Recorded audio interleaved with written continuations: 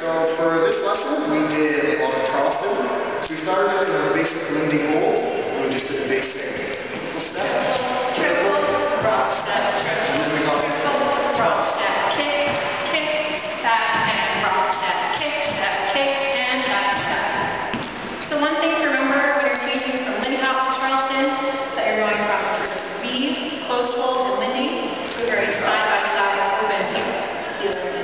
leads, what you're going to want to do is uh, sort of like a tuck turn. You're having a rotational rock step and getting uh, side by side. And you're using that Charleston balance to really get them to know that you're going to Charleston. So And the front feels yeah. And leads, what another thing you're doing is you're lowering your hand from your shoulder blade down to a bit of small of the back. And sort of just, just reaching around and uh, getting a good connection your.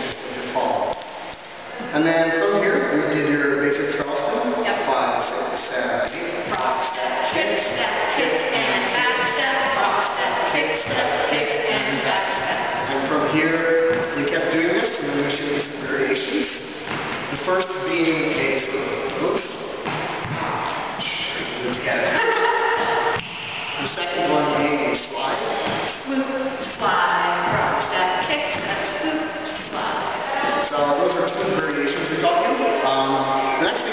We did our open Charleston. So you went from this, and just went like this.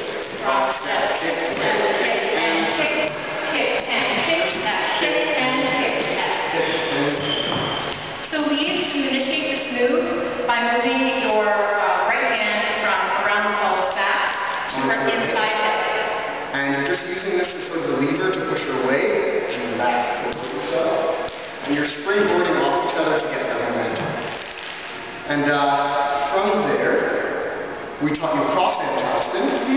So we'll start from here. And how we did that with leaps, we just stay in place. So we did our Charleston turn, raw, step, kick, kick, and kick. And the lead stays here. And the